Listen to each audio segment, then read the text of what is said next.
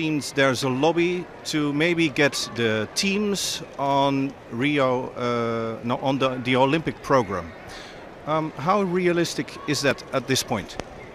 It is very realistic. Uh, we made the application at the beginning of the year with our uh, technical team. Uh, the IOC technical department received uh, well our application.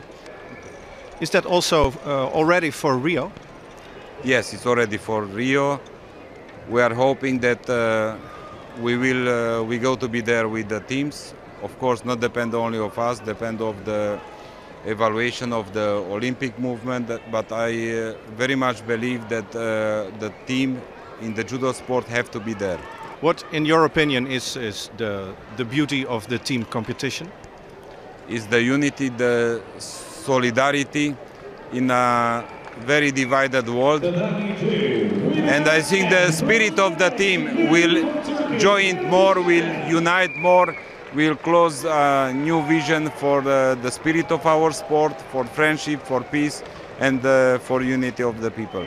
About, um, about the new rules, the athletes have to get used to the rules, and well, some of them are not very enthusiastic because it um, it diminishes the, the, the, possibilities to score. You know, we bring decision in the IJF based on uh, evaluation made by uh, technicians, by the technical team, by the education team, by the referee team, in collaboration with the best coaches of the world.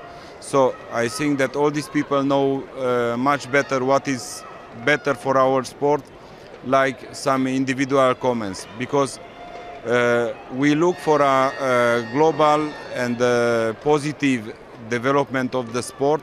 And of course as individual every everybody can uh, express his position and make his comment. But we know well what is better for our sport. Finally i've heard uh, that you are maybe applying for the chairman as sport accord.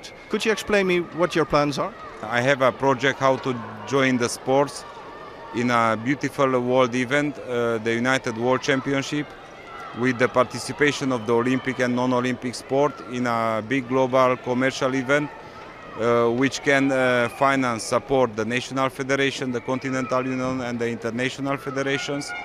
So this would mean even bigger than the games, the Olympic games. Yes, but it's something which not go against the Olympic spirit or against the Olympic games or against the Olympic values. It's just uh, a new global event, commercial one, which can finance the base of the sports. It's very ambitious.